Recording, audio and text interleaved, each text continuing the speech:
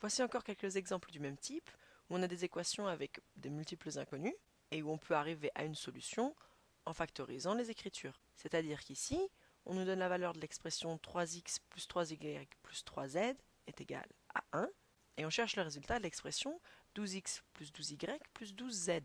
On peut procéder en deux temps. Tout d'abord, on reconnaît ici qu'on a le facteur 12 à chaque fois, donc on peut factoriser par 12 l'expression x plus y plus z. Et pour pouvoir attribuer une valeur à cette écriture ici, eh bien on peut essayer de factoriser l'expression de départ.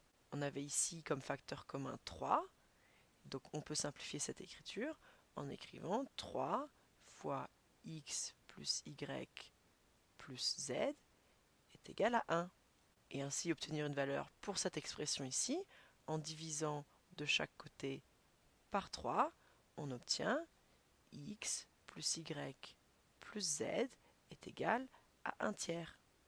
Donc on peut remplacer ici dans cette expression par 1 tiers. Du coup ça revient tout simplement à faire 12 fois 1 tiers. 12 fois 1 tiers, c'est comme 12 divisé par 3, ça fait 4.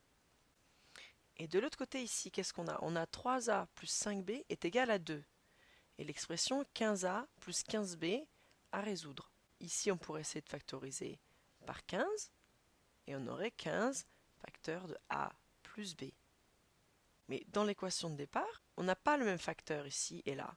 Donc si on voulait factoriser, on pourrait essayer de, de factoriser par 3, mais on aurait alors 3 fois a plus 5 tiers de b, ou on pourrait essayer de factoriser par 5, et on aurait alors 5 fois 3 cinquièmes de a plus b.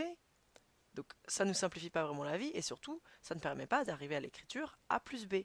Donc dans ce cas ici, on n'a pas assez d'informations. On ne peut pas résoudre ce problème, on n'a pas assez d'informations.